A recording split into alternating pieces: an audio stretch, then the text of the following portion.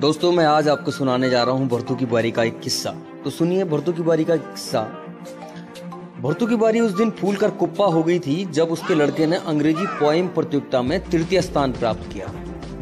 देहरादून के सेंट फराटा international school में अध्ययनरत बच्चों के मुखार बिंद से जब भी वो अंग्रेज़ी भाषा के शब्द सुनती तो बड़ी ही गौरवान्वित हो उठती।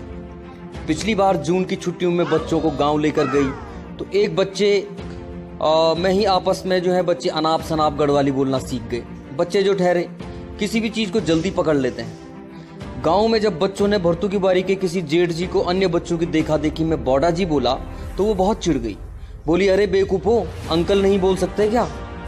बच्चे गाँव के माहौल में इतना मगन हो गए कि सेंट फराटा स्कूल की अंग्रेज़ी गाँव के माहौल में खर्राटे मारने लगी। बच्चों की हिंदी में भी पहाड़ी टंग नज़र आने लगी। बच्चे बोलने लगे कि, मम्मी मम्मी, हम पुंगड़ों में बाँध हकाने जा रहे कभी बोलने लगे कि, हम दादी के साथ गोरू चराने जा रहे भरतू की बारी ये सब सुनकर कहने लगती, तभी तो नहीं लाती मैं इनको गाँव में। दो दिन में ही हवा लग जाती है गाँव की, बिगड़ गए साले। बच्चे कभी मल्ली खोला, कभी मुल्ली खोला, कभी पल्ली खोला, कभी पदान खोला। सुबह से शाम धमा चौकड़ी मचाते रहते। गाँव में आकर पहली बार उन्होंने जो है सजीव पारिस्थितिकी तंत्र देखा था। जहाँ गाँव के कुएँ की मिट्टी वाली गूल में उन्होंने डोके, जाज, उकसे, गोबर में केंचुए व साक्षात सांप देखे थे।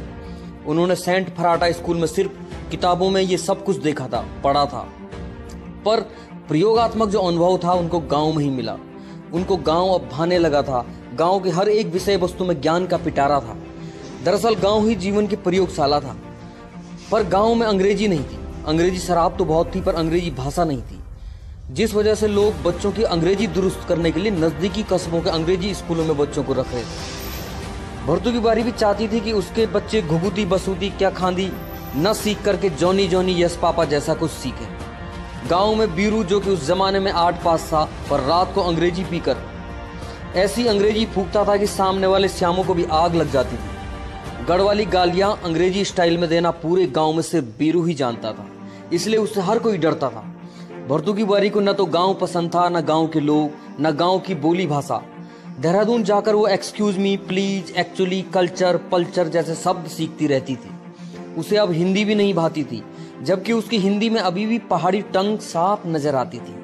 देहरादून राजा वाले की गली में सब्ज़ी वाले, ठेले वाले को आवाज़ लगाते हुए कहती, ओ भैया, टमाटर की कॉस्ट क्या है बल? चिचिंडे का प्राइस क्या चल रहा बल? जब वो भाव बताता तो वो कहती सही सही लगाओ ब्रो हम तो डेली के कस्टमर ठहरे।